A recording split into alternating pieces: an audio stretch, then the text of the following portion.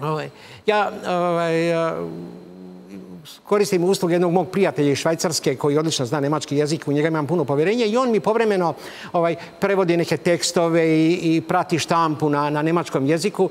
Ovaj, I kad sam ga ja pitao kakva je ovaj, odjek u, u, na nemačkom govornom području štampe vezano za ovo što se desilo u Washingtonu na tom njihovom samitu, kaže tresla se gora, rodio se miš. Znači, jednostavno, svi su očekivali formiranje jednog ovoga, e, misije u Ukrajini, da će NATO da zakorači ovaj, jednim korakom ovaj, otvorenim u taj sukob.